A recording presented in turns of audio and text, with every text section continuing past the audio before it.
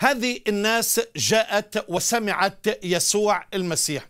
وفعلا بهتت لأن المسيح لما تكلم تكلم بسلطان تكلم بجلال وتكلم كابن الله الحي لأنه قال قد سمعتم أنه قيل أما أنا فأقول لكم.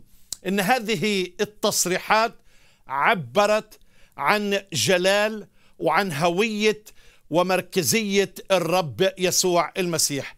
لقد أظهرت مصداقية المسيح وأظهرت أيضا استقامة المسيح وأنه فعل فعلا هو نور كاشف للجموع فهو العالم بكل شيء والحاضر في كل مكان وزمان مع أنه حدد نفسه بسبب الإخلاء بسبب التجسد حتى يقوم بكل أعمال. التجسد كابن الإنسان ولكنه كان يعمل كان يعمل وكان أيضا يعلم ما في قلوب الناس. واختتم هذه العظة بالآيات اسمحوا لي أن أقرأها مرة ثانية مكتوب في بشارة متى إصحاح سبعة آية 24 لاحظ الكلام. فكل من يسمع أقوالي هذه ويعمل بها.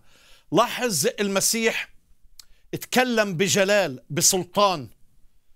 عادة الأنبياء يعني بوجهك إنك تسمع كلام الله وكان بوجهك إنك تتبع وتطيع وصايا الرب. وهي الوصايا بتشوفها متكررة في أسفار العهد القديم وكان دايما العبارة إن سمعتم لصوت الرب إلهك أو وأطعتم وصاياه في سمع وفي طاعة. بس لاحظ هون المسيح بيتكلم عن بعد روحي عن عمق روحي جديد جدا على مسامع الناس. فإما أن يكون الصادق الأمين أو أن يكون مخادع واستحالة أن تأتي إلى نتيجة أخرى غير هذه النتيجة.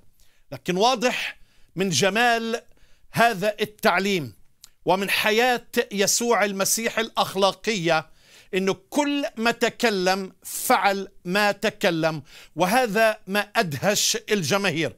لاحظ فكل من يسمع أقوالي يعني أقوال هو أقوال يسوع ويعمل بها أشبهه برجل عاقل يعني وايز حكيم بنى بيته على الصخر فنزل المطر وجاءت الأنهار وهبت الرياح ووقعت على ذلك البيت فلم يسقط.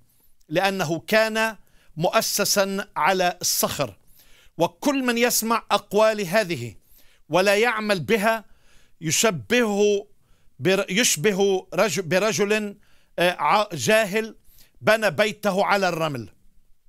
فنزل المطر وجاءت الأنهار وهبت الرياح وصدمت ذلك البيت فسقط وكان سقوطه سقوطه عظيما.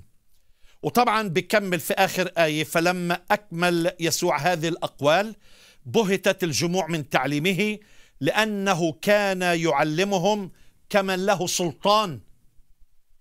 مش إيش الرباي قال وفلان قال كمن له سلطان وليس كالكتبة.